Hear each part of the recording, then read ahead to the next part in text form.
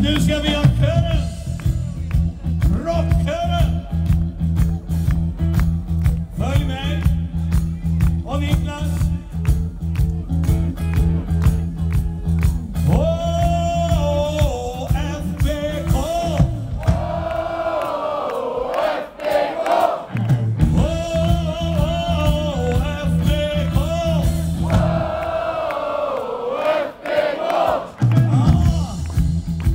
till färgen färg andra gången.